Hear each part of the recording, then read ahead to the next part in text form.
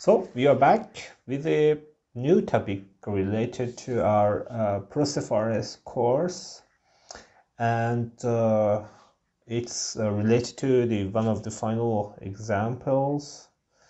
Um, a protection system a safety system related to the oil circuit in a uh, compressor. So uh, this file is the control philosophy for uh, the whole machine. We just focus on the uh, simple part, a start blocking timer.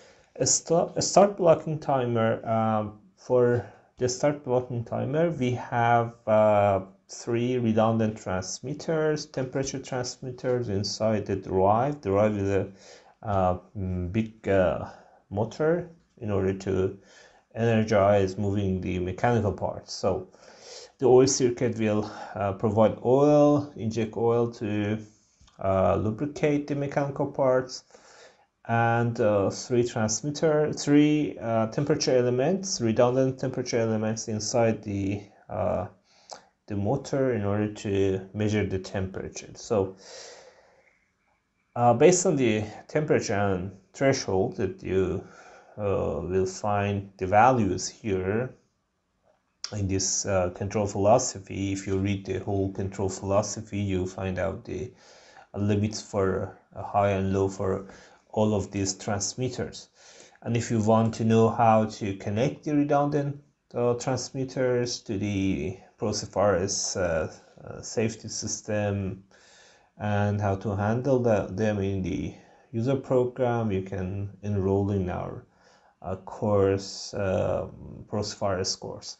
So, uh, so we have these three values out of all those redundant uh, configuration we have three values and based on these values we decide if uh, the motor is running in cold start or it's in the warm start and there is limitations in this example we only want to uh, test uh, several unsuccessful starts, cold starts, and we will see that how the uh, one hour uh, start blocking timer is working.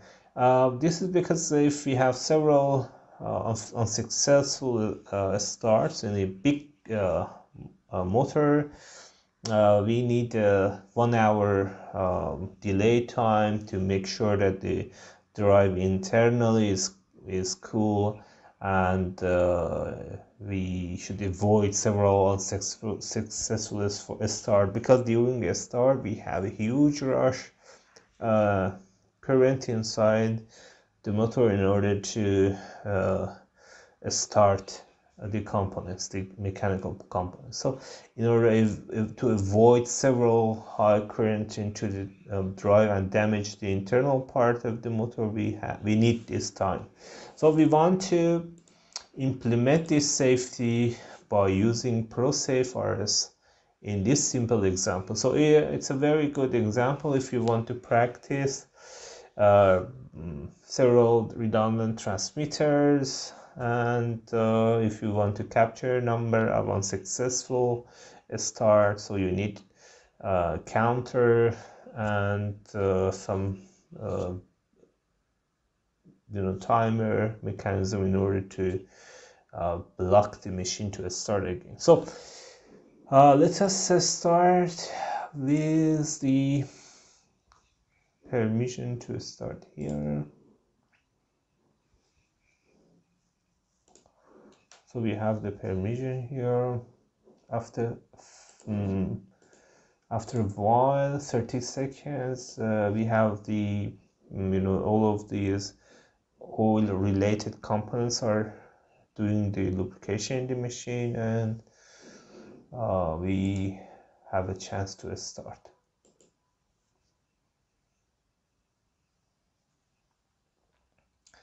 It's a common uh, you know the mechanical parts uh, in a, a, rotary machine you may have uh, mm, the machine is uh, visually is okay nothing is wrong on the whole machine but um, in some cases you may have high speed elements mechanical high speed elements that are uh, rotating and during the runtime when you put them on the the you know under test they may show some uh, vibration and vibration is something that is dangerous for mechanical parts so uh, we may have uh, shutdown from those uh, cases. So uh, let's just uh, we need to wait for 60 seconds.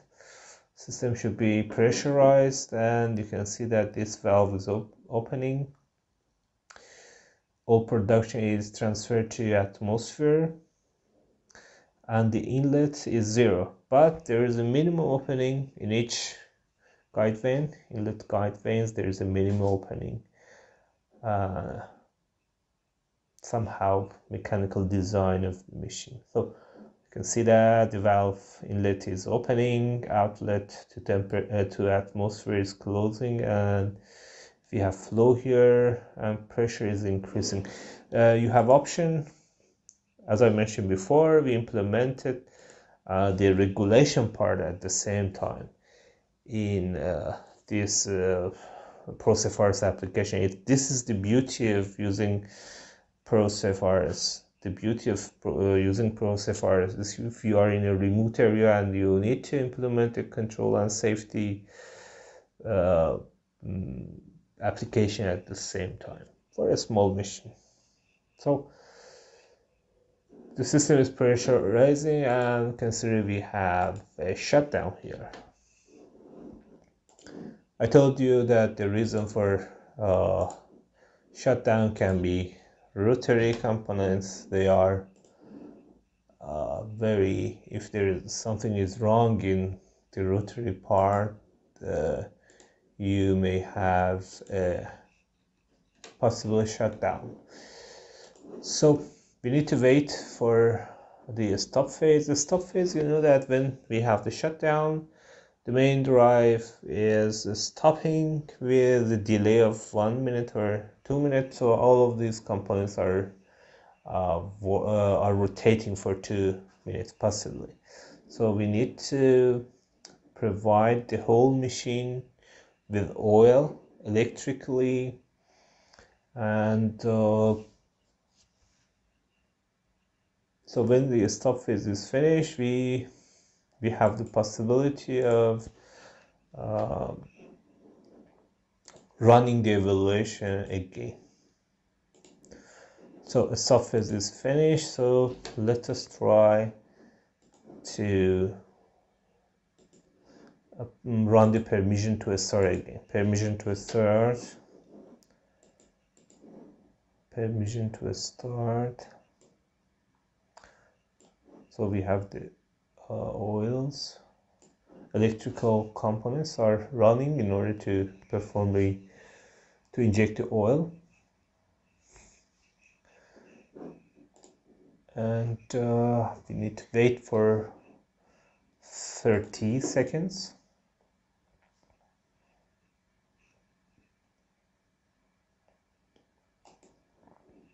so now let us run. In this case uh, just remember that uh, in order to run uh, when we run the electrical uh, lubrication system the oil pumps uh, will shut down when the when we are sure that the mm, pressure oil pressure is you know oil pressure is sufficient.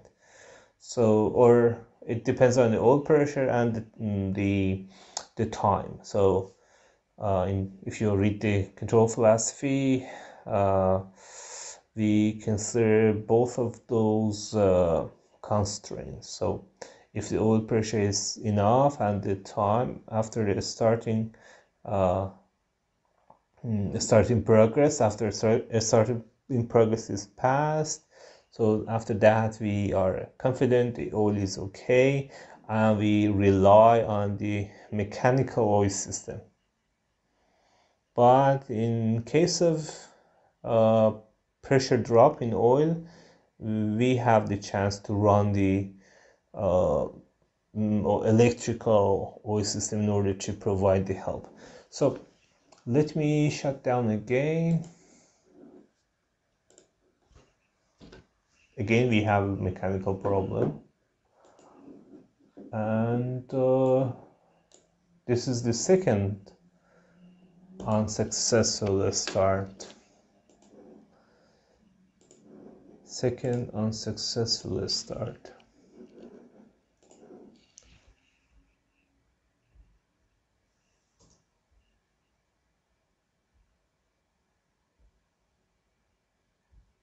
Stop phase should be finished.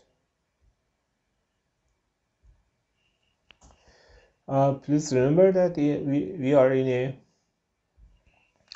a test environment. In the test environment, we don't have the buttons. So most of these uh, acknowledge permissive to a star and a star. These are uh, the momentary buttons. When you um, push, they are getting true, and when you release, they should be false. But here in software, we don't have to, we don't have that option. So this is the out of uh, service. Totally everything is shut down, and we start for the uh, we start a system for uh, the third time. Let me run for permission.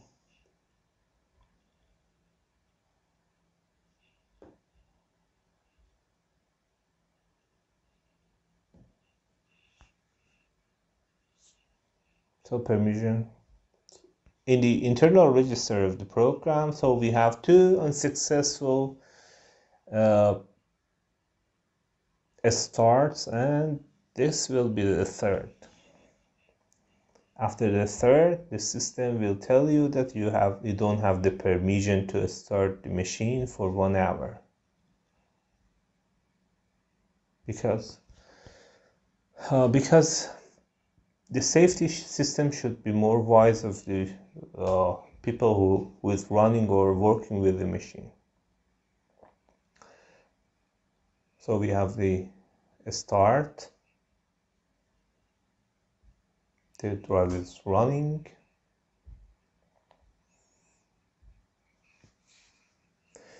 and again we have a problem in the mechanical part. So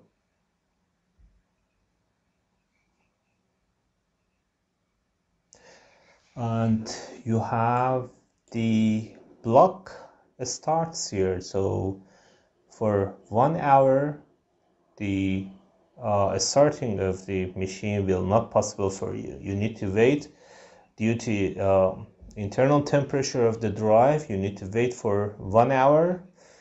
And after one hour uh, the time when this indication is removed you have the chance again you have the chance to uh, run the machine run the machine again.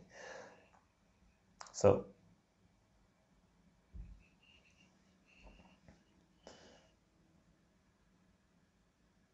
so you need to wait because we have this uh, block start alarm here. So you need to wait for one hour and uh, after uh, one hour the uh, you will have uh, the permission you will have the permission to start the machine again. So um,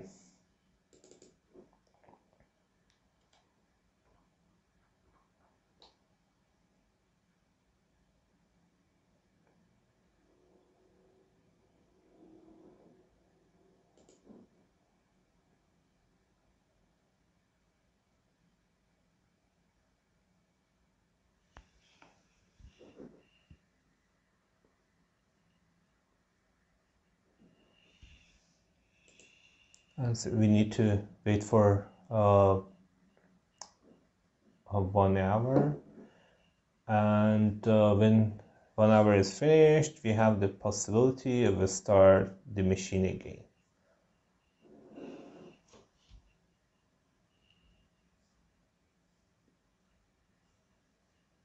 So we, we will return after this one hour period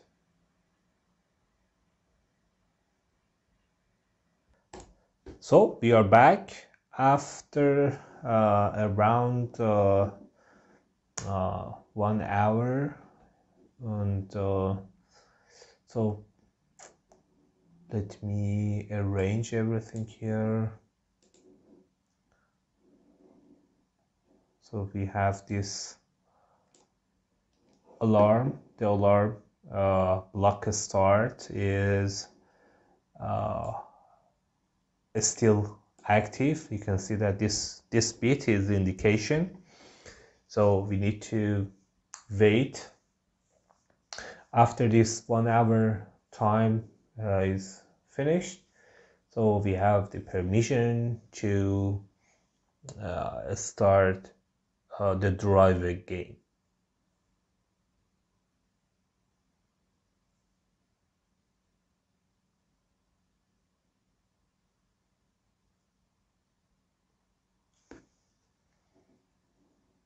it's a great example great great example for real application.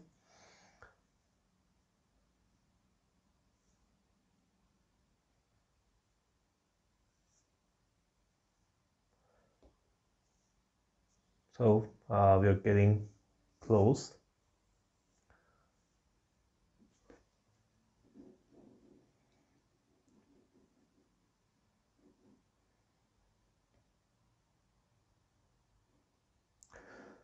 so uh, the alarm start block alarm is gone now. And uh, the protection over the startup uh, uh, the number of unsuccessful uh, starts are now expired. So uh, we have the um, we have a chance to uh, run the permission. Run the permission and uh, start the drive. Start the the whole machine. Uh, this is the permission and the next will be the starting the machine. Uh, we will uh, share other uh, programming tips regarding this safety scenario if you like to um, read the whole uh, control philosophy and do the practice you can uh, enroll in the ProSafe RS course. Uh, it's a um, great uh, real application and you will practice your programming uh, uh programming knowledge in PLC, safety PLCs.